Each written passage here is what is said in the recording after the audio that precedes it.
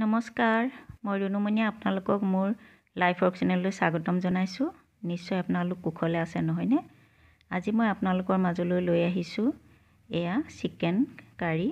তাৰ বাবে মই এয়া অলপ লোকেল মানে মুৰ্গী লোৱা হৈছে। মই অলপ হালধি দিছোঁ নিমখ আৰু অলপ মই ইয়াত মিঠাতেল দিম। ইয়াত নিমখটো মানে জোখমতে দি ল'বলৈ দিছোঁ অলপ। তাৰপৰা মই নিমখ মিঠাতেল অলপ দি অলপ এইটো মই মেৰিনেট কৰি ৰাখিম অলপ সময়। আমি লোকেল চিকেনটো এনেদৰে অলপ সময় যদি ৰাখোঁ তেতিয়াহ'লে আমাৰ যেতিয়া আমি মাংসটো ৰান্ধোঁ তেতিয়া আমাৰ যথেষ্ট মানে মাংসখিনি ভাল হয়। মাংসৰ কাৰণে মোৰ এয়া লৈছোঁ মই ৰচুন পিঁয়াজ টুকুৰি আদা জলকীয়া তেজপাত এটা আলু আৰু মই লৈছোঁ কেইখিলামান মান ধনিয়া। এইখিনি মই এতিয়া গ্ৰাইণ্ড কৰি ল'ম। পিঁয়াজ ৰচুন আদা এনেদৰে মই আৰু কেইটামান মই এটা পিঁয়াজ মিহিকৈ কাটিও ল'ম। গোটেইখিনি মই গ্ৰাইণ্ড কৰি নলওঁ। আৰু এতিয়া মই ইয়াৰ কাৰণে মই মছলাখিনি ৰেডি কৰি লওঁ। মই এতিয়া এটা বাতিত এয়া প্ৰথমে মই লৈছোঁ এচামুচ আপোনাৰ জিৰা গুড়ি। এয়া দিছোঁ মই মিট মছলা আৰু দিছোঁ মই এয়া চিকেন কাৰী মছলা অলপ আৰু ইয়াত দিম মই অলপ এয়া শুকান জলকীয়া গুড়ি এইখিনি মোৰ ঘৰতে খুন্দা জলকীয়া আৰু মই দিছোঁ অলপ এচামুচ হালধি। অথনিও হালধি মই মেৰিনেট কৰোঁতে দিছোঁ হ'লেও এইখিনি মই এতিয়া অলপ হালধি দি দিছোঁ আৰু এয়া পানী দি এইখিনি মছলাখিনি মই এটা পেষ্ট কৰি লৈছোঁ। মছলাৰ পেষ্টটো এনেদৰে কৰি ল'লে আমাৰ মাংসৰ কাৰণে ভাল হয়। আৰু আমি মাংসত এনেদৰেই মছলাখিনি আমি ব্যৱহাৰ কৰিব লাগে। আৰু এতিয়া মই এয়া এটা কেৰাহী পাতিছোঁ গৰম হৈছে মোৰ কেৰাহী। আৰু মই মাংসৰ অনুপাতত মই মিঠাতেল দিছোঁ। এনে মোৰ মিঠাতেলখিনি মই অলপ গৰম হ'বলৈ দিছোঁ। আৰু মই আগতেই যে পিঁয়াজ ৰচুনীয়া ৰাখিছিলোঁ। তাৰখিনিয়ে মই পেষ্ট মোৰ ৰেডি হৈ গ'ল। আৰু মই এয়া মোৰ আদা ৰচুন পিঁয়াজৰ পেষ্ট এইটো মান ধনিয়াৰ মই পেষ্ট কৰি ল'লোঁ। আৰু মই ইয়াত লৈছোঁ অলপ এয়া মই জালুকৰ গুড়ি লৈছোঁ এতিয়া। আৰু ইয়াত মই পিঁয়াজ কাটি লৈছোঁ আৰু ওচৰত সেয়া তেজপাত। আৰু এতিয়া মই তেলত তেলখিনি মোৰ এয়া গৰম হৈ আহিছেই আৰু মাংসৰ কাৰণে আমি তেল যথেষ্ট গৰম হ'বলৈ দিব লাগে। এতিয়া মই অলপ নিমখ দি চাইছোঁ তেলখিনি কিমান গৰম হৈছে। এতিয়া মই ইয়াত ওলাইছে ধোঁৱা আৰু মই তেলত দি দিছোঁ কেইটামান গোটা জিৰা আৰু তাৰ লগত আছে মোৰ কেইটামান গোটা জালুক। এয়া মই তেলত দি এইখিনি মোৰ তেল ফুটিছে আৰু হেৰিখিনি। আৰু তাত মই দি দিছোঁ এয়া তেজপাত কেইখিলা তেলতে দি দিছোঁ। আৰু পিঁয়াজ দিছোঁ। তেজ মোৰ তেল প্ৰায় গৰম হৈ গৈছে আৰু এনেদৰে মই কটা পিঁয়াজখিনি গোটেইখিনি দি মই অলপ এইখিনি ৰঙচুৱাকৈ ভাজি ল'ম। এনেদৰে আমি পিঁয়াজখিনি অলপ সময় ভাজিব লাগিব। আপোনালোকে মই কেনেদৰেনো লোকেল মুৰ্গী বনাইছোঁ আপোনালোকে মোক জনাব কেনে পায় যদি ভাল পায় ভিডিঅ'টি আপোনালোকে শ্বেয়াৰ কৰিব। আৰু যিসকলে নতুন ভিউৱাৰ্ছে চাই আছে তেওঁলোকে যেন ছাবস্ক্ৰাইব কৰিবলৈ নাপাহৰে। মোৰ পিঁয়াজখিনি প্ৰায় ৰঙচুৱা হৈ আহিছে। এনেদৰে আমি অলপ সময় পিঁয়াজখিনি ভাজিব লাগিব। লোকেল মুৰ্গী বহুত ধৰণে বনাব পাৰি। এতিয়া আপোনালোকে মই বনোৱা ধৰণেও ট্ৰাই কৰি চাবচোন কেনে পায় আপোনালোকে মোক কমেণ্ট কৰিবলৈ নাপাহৰিব। এয়া মোৰ পিঁয়াজ ৰঙচুৱা হৈ আহিছে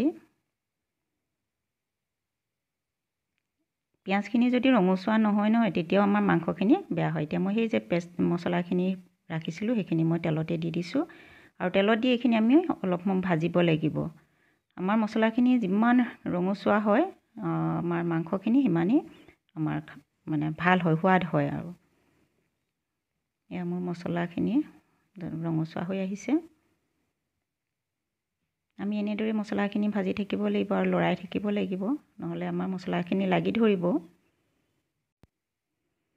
মছলাখিনি আমি প্ৰায় পাঁচ মিনিটমান সময় ভাজিবই লাগে। এনেদৰে আপোনালোকে চাওক মই যথেষ্ট সময় মছলাখিনি ভাজিছোঁ আৰু আমি লৰাই থাকিব লাগিব। কাৰণ আমি এৰি দিব নোৱাৰিম নহ'লে তলত আমাৰ লাগি ধৰিব। এয়া। আৰু এতিয়া মই যিখিনি মোৰ আদা ৰচুন আৰু ইয়াত মোৰ অলপ পিঁয়াজো আছে। এইখিনি মই পেষ্টখিনি ইয়াত দি দিছোঁ। পেষ্টখিনি দিয়াৰ পিছতো আমি ভাজিব এইখিনি ভাজি থাকিম। মছলাটো আমি যেতিয়া এনেদৰে ভাজি থাকোঁ মানে আমাৰ ধৈৰ্যৰো প্ৰয়োজন হয় অলপ ধৈৰ্য লাগিবই। এতিয়া আমি মই বাতিটোৰ মছলা হেৰি কৰা বাতিটোতে মই অলপ পানী দি ইয়াত পানীটো দি দিছোঁ। কাৰণ অকল মছলাখিনি দি দিয়াৰ পিছত যদি আমি অলপ পানী নিদিওঁ তেতিয়া আমাৰ লাগি ধৰে। আৰু এতিয়া মই মাংসখিনি দি দিছোঁ। আৰু আমি মাংস দিয়াৰ পিছত তেলখিনিৰ লগত মিহলি হ'বলৈ আমি মাংসখিনি ভাল ধৰণে লৰাই দিব লাগিব যাতে মাংসখিনিত আমাৰ সম্পূৰ্ণ মা মছলাখিনি সোমাই যায়। এনেদৰে আমি মাংসখিনি অলপ টাইম ভাজিব লাগিব।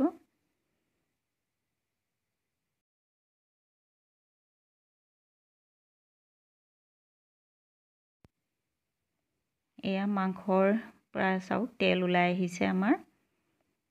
ইমান ধুনীয়াকৈ তেলটো ওলাইছে। আৰু মই অথনি যদিও নিমখ দিছিলোঁ কাৰণ মাংসটো আজি মই অলপ জোল ৰাখিম বেছিকৈ সেয়েহে মই আৰু অলপ নিমখ দি দিছোঁ ইয়াত। আপোনালোকে মাংসটো নিজৰ ইচ্ছামতে যি ধৰণে ৰান্ধে সেই অনুপাততে আপোনালোকে নিমখ দিব। এনেদৰেই এতিয়া মই মাংসটো অলপ সময় ভাজি ৰাখিম। আৰু ঢাকনা দি দিছোঁ কাৰণ মাংসখিনি আমাৰ ফুটিব লাগিব। আৰু মই আলুটো মই কাটি ল'লোঁ।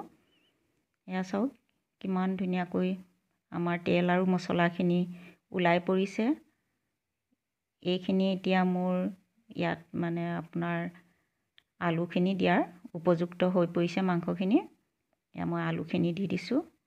আলু দিয়াৰ পিছতো আমাৰ মাংসখিনি মানে অলপ সিজিব লাগে। ঢাকনা দি দিম আমি।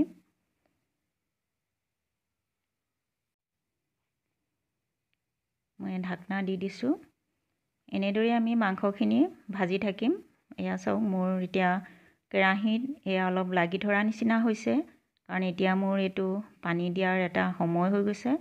আৰু আপোনালোকে যদি বিচাৰে এনেদৰেও আপোনালোকে ফ্ৰাই কৰিও খাব পাৰে। আৰু মই এতিয়া তাৰ আগতে মই যিটো মোৰ জালুক ৰাখিছিলোঁ প্ৰায় চামুচ জোখৰ মই আজি জালুকখিনি দি দিছোঁ। আপোনালোকে ইয়াত দেখিছে মই যেতিয়া লৰাইছোঁ কেৰাহীটোৰ তলত মোৰ মছলাখিনি লাগি ধৰিছে। আৰু এনেকুৱা সময়তেই আমি পানীটো আমাৰ দিব লাগে উপযুক্ত এটা মানে মাংসৰ সময় হৈ গৈছে এইখিনি। ৰংটো ইমান ধুনীয়া আহিছে নহয়নে বাৰু? এয়া মই পানীটো মাংসত দিয়া পানীখিনি মই অলপ গৰম কৰি লৈছোঁ। পানীটো আপোনালোকে নিজৰ জোখমতে দিব আপোনালোকে মাংসত কিমান জোল ৰাখে কেনেধৰণে ৰাখে। আজি মই মাংসখিনি আগতেই কৈছোঁ যে মই আজি মাংসটো অলপ মানে জোলটো বেছি কৰি ৰাখিম সেয়েহে মই পানীৰ পৰিমাণটো অলপ বেছি কৰি দিছোঁ। আৰু এতিয়া মাংসখিনি আমি উতলাব লাগিব। মাংস যিমান উতলিব আমাৰ সিমানেই মাংসটো ভাল হয়। এয়া মাংস মোৰ উতলি আহিছে। ৰঙেৰে সৈতে যথেষ্ট ধুনীয়া হৈছে নহয়নে বাৰু?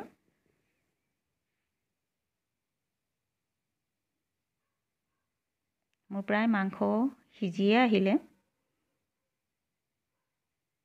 এনেদৰে মই অলপ সময় মাংসখিনি আমি উতলাই ৰাখিম।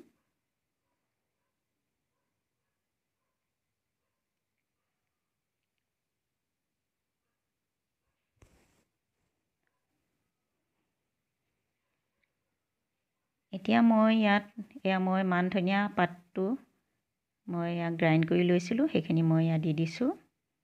মান ধনিয়া পাতটোৰে আমাৰ কি হয় যথেষ্ট মাংসখিনি মানে চেণ্টটো বৰ ভাল লাগে। আৰু এই দিয়াৰ পিছতে মই এইখিনি আকৌ অলপ সময় এনেকৈ উতলাম। মোৰ মাংস উতলিয়ে আছে।